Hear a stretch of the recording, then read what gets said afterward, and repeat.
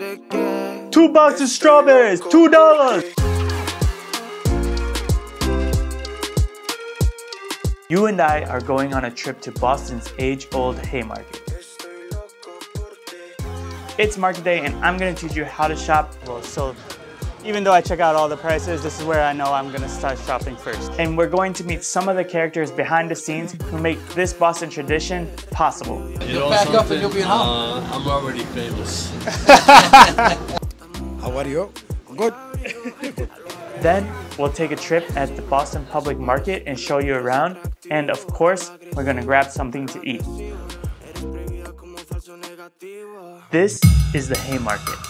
Every Friday and Saturday, vendors arrive to set up their tents and sell fruits and vegetables at competitive prices to the public.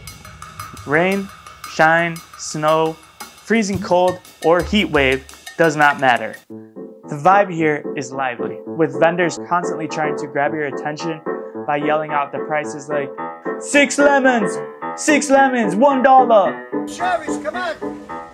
Only two dollars a pound. Taste. Two boxes of strawberries, two dollars.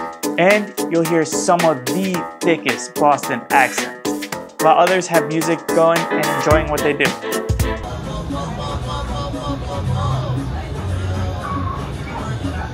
One thing is for sure though, you can count on these vendors to be there just as they have been for the last 203 years.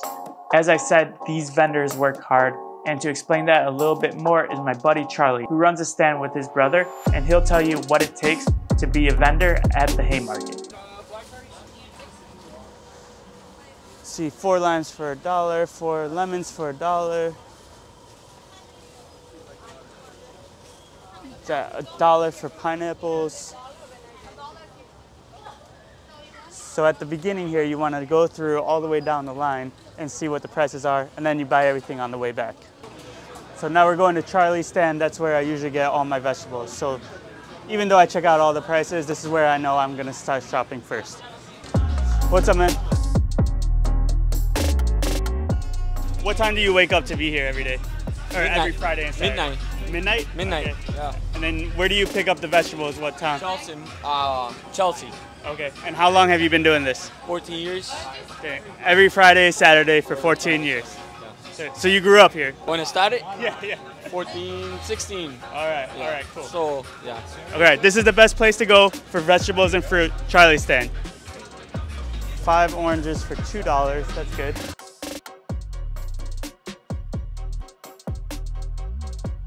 The first open air markets in this part of Boston can be traced back as far as the 1600s. The Haymarket Association itself can be traced back to 1820. Most of the vendors back then were immigrants, mostly from Italy who lived in the North End. And you'll find that even today, these stands are still ran by a diverse mix of immigrants as well as locals. Now, the Haymarket has not always been looked at in good light. Prior to trash compactors being introduced, the Haymarket was kind of known for create a mess, creating these giant mountains of garbage every single weekend, which were eyesores in the middle of the city. Though most of those problems have been solved and continue to be solved, you can still see some history of it if you just look down at the street. Literally. These are the bronze cast figures of different items that you normally see at the Haymarket, like apples, bananas, baskets, combs, gloves, pizza, a lot of random garbage. However, many of these bronze art pieces were removed from the streets when the streets were repaved. So the next time you're in the Haymarket, make sure you take a look down and see which ones you can find. The Haymarket has some of the best priced produce in all of the nation, which is interesting considering that Boston is one of the most expensive cities in the nation, especially when you compare the produce to Whole Foods or the larger grocery stores in the area. Depending on the season, you might be able to get a box of Driscoll's organic strawberries only for a dollar. You'll see six oranges for two dollars, four apples for a dollar, four onions for a dollar, asparagus for a dollar, cilantro, big bunch of cilantro for a dollar, and a pound of tomatoes for $1.50. They used to be a dollar, but you know, inflation. I know what you're thinking. How are these vendors able to sell these vegetables for pretty much nothing. Well, these vendors wake up so early in the morning and purchase these produce at wholesale prices from distributors up north, mostly in Chelsea. Drive to Blackstone Street, which is located between Government Center and the North End, and then sell it to the public. However, pretty much everyone has the same product. So everyone's trying to sell the same thing. So with so much competition, this drives the prices down, which is good for you. And that's what we call capitalism, baby.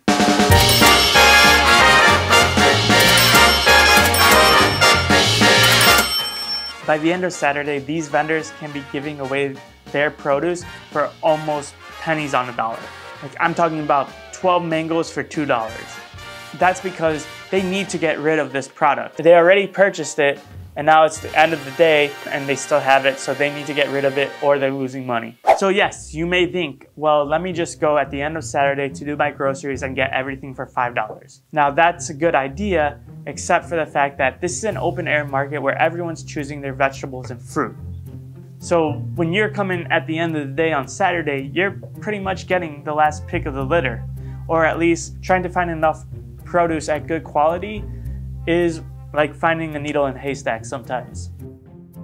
So that's why I advise to go at noon on Friday. If you go at 8 a.m., you can see some vendors are still setting up, but I find that at 12, everyone's set up, ready to go. And at this market, cash is king. Quick tip, if you need an ATM, there's a Chase Bank located across the street in the north end. Now you do have to be careful when picking your fruit. These vegetables are very, very, very ripe sometimes. So if you don't know how to pick vegetables and fruit, make sure that you learn. Do you know how a good avocado feels or a good mango feels? If you're picking up broccoli and you see it turning yellow, probably shouldn't take that. Also, at the exact same time, if it's too dark and you see something gooey on top of it, you shouldn't take that either. And, and that could be very small parts of it.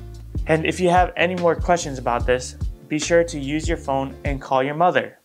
She knows the answers. And if you think that this is worth a full video, make sure you add a comment below. And now we're going to meet Boston's godfather of cheeses, Roy Fournier.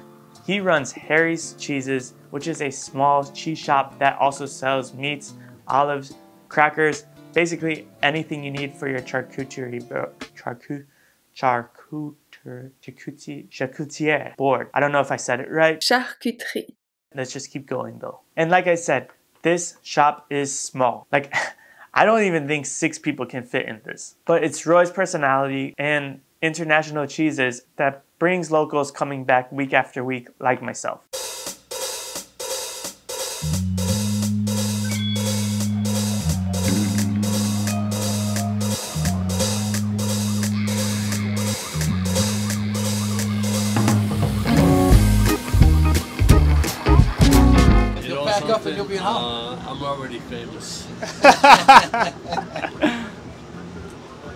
I told you I was down here for 47 years, 48 years.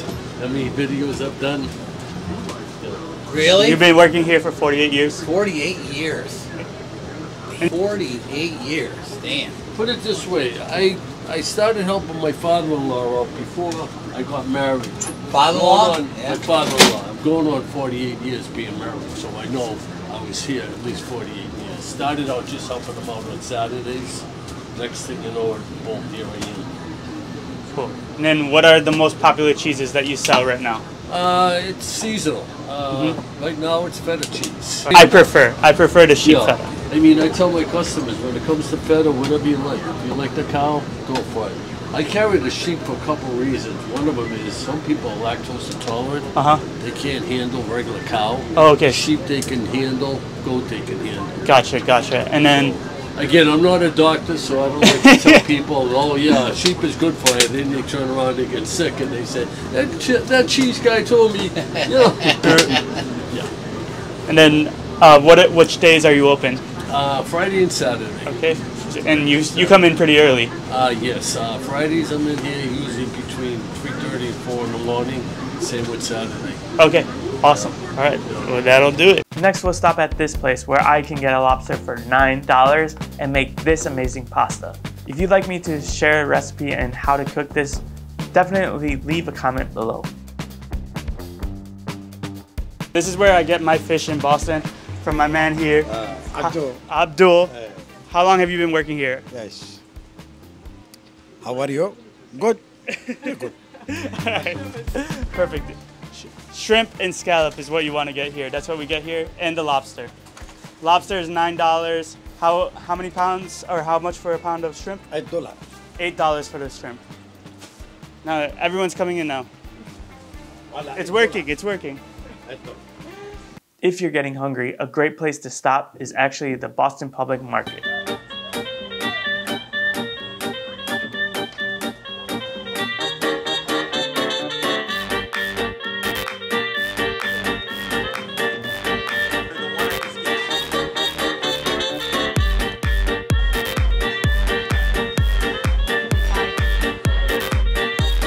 Franchi wanted to eat at Moroccan Fusion. So good. We should eat here.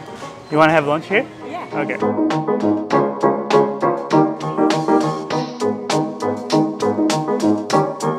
Franchi ordered the princess. Of course she did. Princess for the princess. Which is Moroccan style chicken, Moroccan couscous, roasted beets, pineapple barbecue, and white garlicky sauce. I ordered the sultan, which was the sweet lamb, yellow rice, jalapeno chickpeas, spicy harissa, and white garlicky sauce.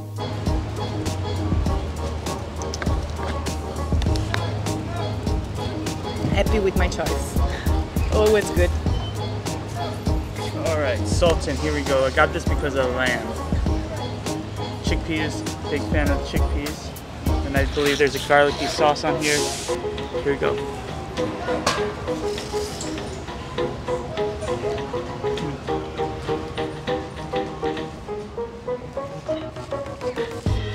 Awesome. It's got some kick to it. If you're if you're not into spicy, this is not the dish for you. But if you are, it's for you, which is also for me. So I like it. Garlicky sauce is very good. Spicy chickpeas as well. It's a good mix. It's a Moroccan version of Chipotle almost, but very, very good. So make sure you stop by, check it out. Of course, we needed something sweet to top off the day. So what did we do? We went straight back into the public market. Here, if you want a little treat, it's our favorite mini cider donut. Mini apple cider donuts. Each one of these costs only $1. Cheers. Cheers.